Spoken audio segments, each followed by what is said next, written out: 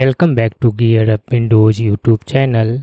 In this video, we will guide you on how to change maximum recording length for Game Bar in Windows 11.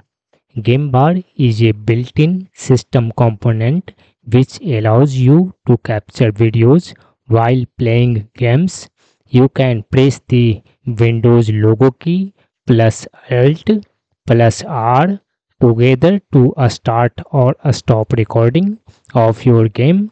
By default, Windows 11 allows users to record up to 2 hours and after that recordings will automatically turn off.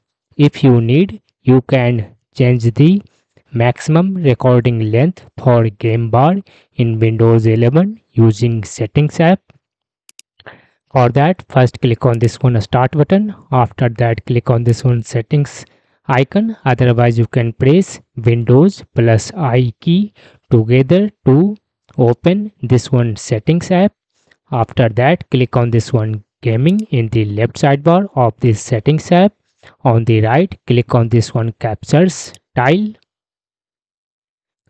After that under recording preferences you will find this one option max recording length.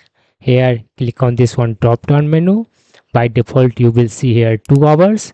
By clicking you will see other options. You can select here 30 minutes 1 hour 2 hours or 4 hours. Select uh, any time according to your needs.